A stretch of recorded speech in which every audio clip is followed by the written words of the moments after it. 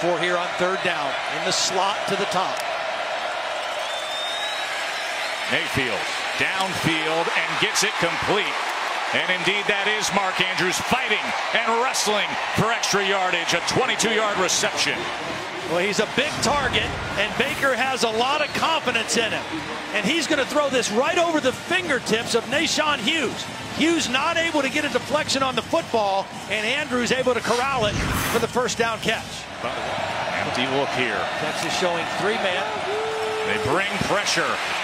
Mayfield gets it away and gets it complete to Andrews. Ball came loose at the end there.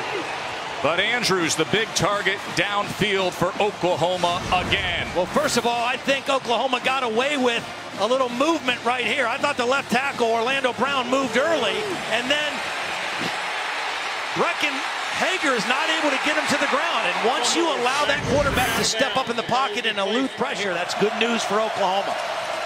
Mayfield and Sermon both shaken up in this game, both back out there.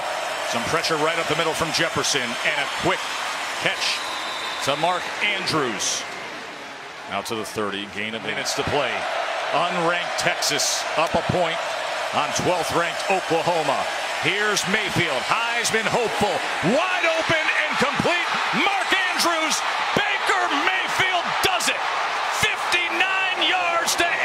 Andrews.